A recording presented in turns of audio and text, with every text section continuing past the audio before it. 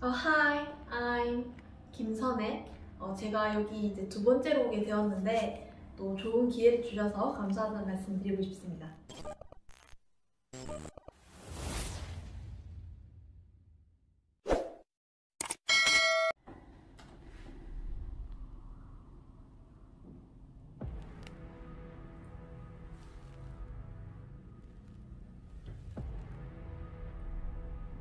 오, 일단 좀 웅, 웅장하네요, 비트가. 오.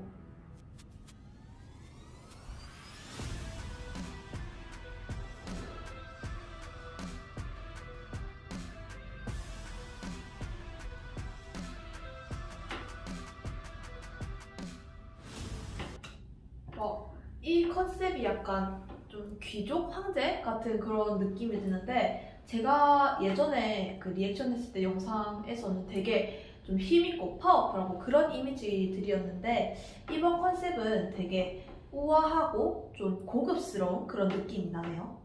일단 다섯 명 전부 다 스타일링이 굉장히 잘 어울리는 것 같아요. 어, 파블로,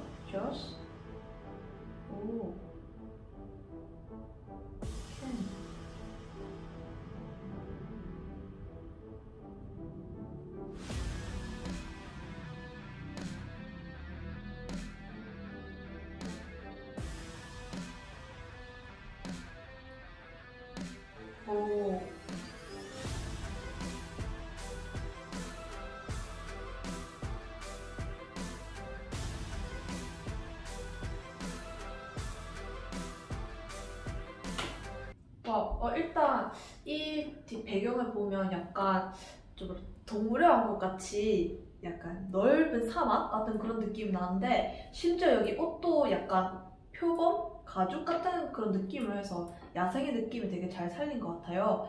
그리고 아까 어, 아, 이 부분에서도 제가 굉장히 이런 여기에 어깨에 달린 깃 같은 그런 의상을 굉장히 좋아하는데 이분들이 정말 하나같이 다 잘 어울리셔가지고 정말 황태자 같은 느낌이 확실하게 드네요. 오, 좋아, 좋아.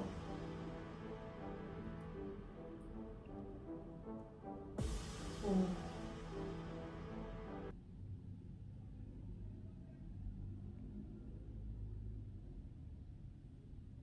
오, 정말 영화처럼 이렇게 뭐 제작사 이런 것도 다 나와 있네요.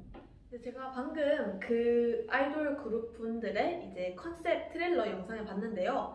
일단 제가 예전에 이렇게 리액션 했을 때는 아까 말씀드렸던 것처럼 파워풀하고 굉장히 힘있고 정말 아이돌 정석 같은 그런 느낌이 들었는데 이번 컨셉 트레일러를 보니까 좀 더 우아하고 고급스럽고 약간 좀 더 거친 그런 느낌이 많이 납니다.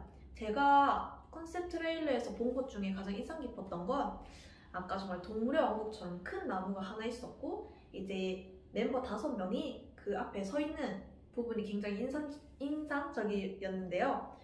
옷도 굉장히 야생적으로 입어서 거친 느낌을 더 잘 표현한 것 같아요.